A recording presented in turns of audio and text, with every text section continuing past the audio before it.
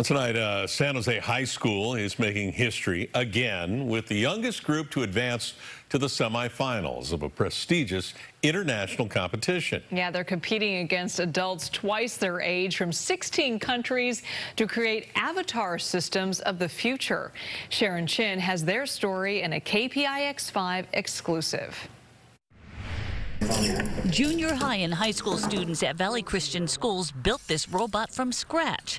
Out of 77 entries worldwide, it earned one of 38 coveted spots in the semifinals in the ANA Avatar X Prize Challenge. We want to run a WebSocket server for audio. 12th grader Alex Lopes heads the student group Team Avatar Quest. It's uh, really incredible. Uh, we're really honored to be part of such a prestigious competition. They're motivated. Danny Kim leads the school STEM program. We're the only high school now the second time to ever make it to a semifinal round in an X Prize competition. The first time, Valley Christian's team won an $800,000 X Prize bonus award in 2019 for devising a way to map the ocean floor.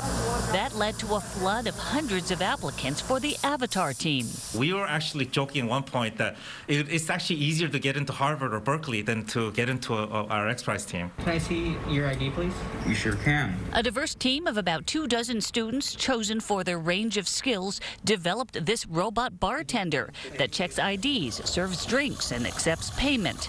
The challenge create an avatar system to bring a human presence instantly to a remote location. We were not able to set foot on campus. The students collaborated online for almost a year. We want to then junior Sia Agarwal says they had to shift gears. So trying to coordinate all of that was a little bit nerve-wracking. Can I see your credit card, please? Yes, you may. And when they could return to campus, program mentor Nathaniel Grady says the team had only two weeks to produce this prototype. It was tough because we were definitely a little emotionally um, attached to the original design.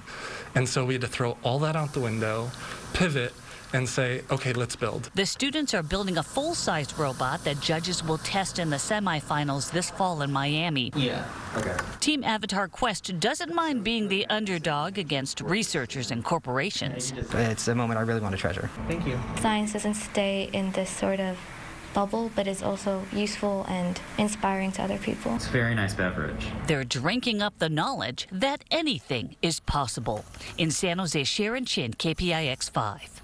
The people are going to change the world in the next 10 years. Another team from Valley Christian is entering a different X Prize challenge. They're working to find a way to map the world's rainforests.